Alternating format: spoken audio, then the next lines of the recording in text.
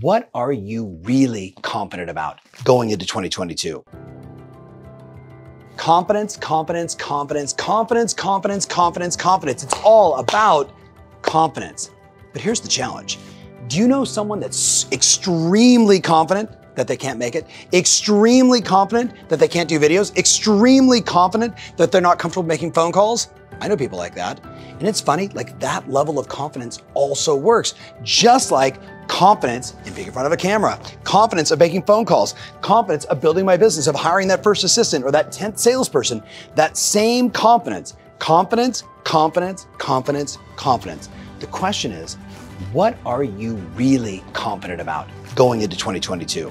I'm super confident that the market is going to continue to be great for the people that are confident in doing the work, getting outside of their comfort zone, serving their customers, making a difference every single day, being disciplined, all the grittiness, all the things that we know. And I also know someone, not you, might be super confident that next year is going to be a tough year. Which one are you?